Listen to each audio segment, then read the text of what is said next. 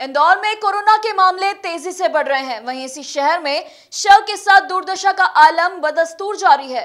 पहले प्रदेश के सबसे बड़े सरकारी अस्पताल के मुर्दा घर में शव की दुर्गति हुई। फिर अब निजी अस्पताल में शव के चेहरे और पैर पर घाव मिले। आक्रोशित परिजनों ने अस्पताल प्रबंधन पर लापरवाही का आरोप लगाते हुए अपनी व्यथा ज़ाहिर की। दरअसल इंदौर के अन्नपूर्णा थाना क्षेत्र में स्थित यूनिक अस्पताल में तीन दिन पहले सत्यासी वर्षीय बुज़ुर्ग नवीन चंद्र जैन को कोरोना संक्रमण के चलते इलाज हेतु भर्ती कराया गया था। रविवार दोपहर तक वह परिजनों से फ़ोन पर बात कर रहे थे। इस दौरान उन्होंने या चिकित्सकों ने उनकी हालत गंभीर होने की कोई बात नहीं की। लेकिन रविवार रात उनकी मौत हो गई। परिजनों के होश तो उस वक्त फाकता हो गए जब बुज़ुर्ग के शव पर चोट के निशान दिखे।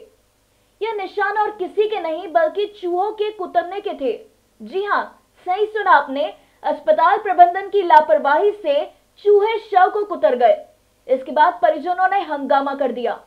हमको ऐसी डेड बॉडी दी मेरा नाम प्रीति है। कौन है जिनकी डेथ हो गई है? ये मेरे ससुर जी है। क्या नाम था इनका?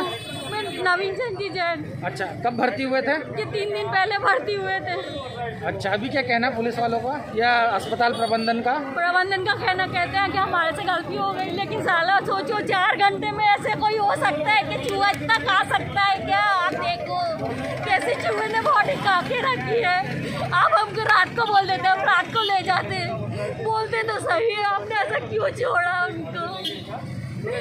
ये कोई न्याय नहीं है, ये बिल्कुल न्याय नहीं है, गलत है, बिल्कुल गलत है। और बाद में हमसे साइन भी करवाई गई यहाँ पर ठीक है? साढ़े आठ बजे साइन करवाई है कि नहीं दस बजे ना?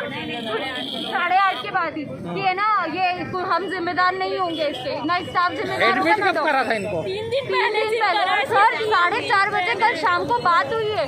उन्हें एक एक को पहचाना तक भी है कि ये ये है ये ये है ये मेरे घर की बहू है ये पोती है। और उसके बाद ये। आक्रोशित परिजनों ने शव अस्पताल के बाहर रखकर ही हंगामा शुरू कर दिया। मौके पर पहुँची पुलिस ने समझाइश दी।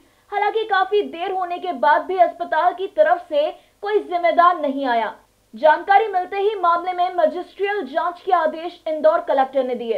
एसडीएम अजय देव शर्मा को इसकी जाँच सौंपी गई है। Bureau report, Khabarbar news, Indore.